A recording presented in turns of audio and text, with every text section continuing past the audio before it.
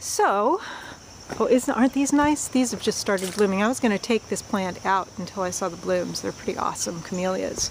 This is a camellia too, by the way. This is a, where'd it go? Camellia sinensis. This is tea. This is what tea grows from, and I'm going to, I'm not sure where I'm going to put that yet.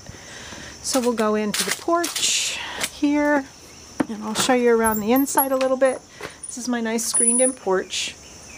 Um, I built that arbor that's out there. There's some Halloween, some orange lights around it. So this is my little porch to sit out in. I was going to take these sticks and this and make a, a like a, a besom decoration for Halloween, but I haven't done it yet. Here's my Halloween. Yeah, I've got some aloe here. Okay, so let's go inside. So this is my house. You are out front. That's the front door there. And when I came, this was all kind of a drab, light blue in here, so I wanted it red. so anyway, so this is the living room. I got some Halloween stuff there. I like seeing people's houses, so, you know, I don't care whether they're big or small, apartment, you know, mansion. I just love seeing houses, so that's why I share mine. And mine has all been furnished with like mostly secondhand stuff that was not very expensive at all because I didn't bring a lot with me from California. A lot of the artwork though on the walls, the artwork, um, the photography is, is mine. I have different pinhole and Holga and those are pinholes there. That was my aunt did that. And these are my sort of my ancestry. I haven't set up an ancestor altar yet, um, but these are my um, my grandma. These are this is my artwork, and I was holding masks of my grandmother's faces over my own face, and those are cyanotypes. Um, I love to cook.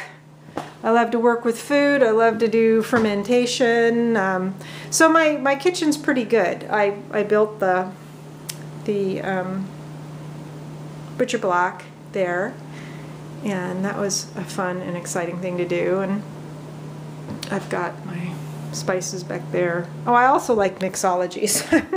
booze. I like the flavors, you know? I like the flavors. Um, and upstairs is, there's a couple, there's bedrooms. There's three bedrooms, but one of them, I'll show you the one that is my uh, meditation room.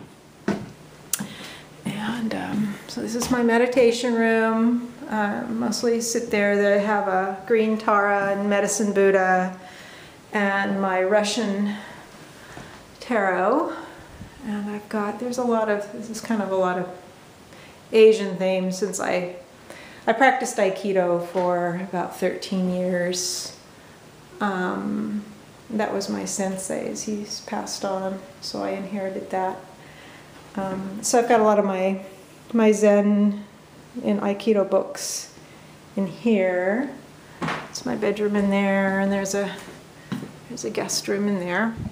So now I'll take you downstairs to where I spend a lot of time doing some work and talk a little bit about more about myself. These are more um, these are more of my pinholes. I have a series of pinhole self-portraiture that are a little well they're different. I like them. So um, that's that. So this is my this is my office slash studio slash creative space. I do a lot of photographic work, and I've got a lot of my herb, herbal and witchy kind of books up there. It's more of my artwork there. Um, my daughter's artwork, she did that in high school. And I have a bulletin board for putting prints up, just to look at prints that I've made, and my sewing machine. I'm getting a wood stove because the fireplace is just too smoky. So in another month I'll have a nice little wood stove that sits right there. There's my skelly friend. There's my Baba Yaga that um, Jackie painted for me. Commissioned her to do that. That's another one of my pieces of artwork. Um, and those are all my pieces of, um, those are gelatin silver prints. I still do traditional darkroom photography. And here I have some of my resins and incense, some of my like Russian and Eastern European folk magic kind of books. And I have a um, Saraswati since she is the goddess of learning and art, and I am an artist. And I've got a couple different tarots here. This was my sensei's too. And some crystals, my crystals, and I set this up because it felt right to me. I mean, those of you who know more about stuff know more, but oh, my tooth keeps falling.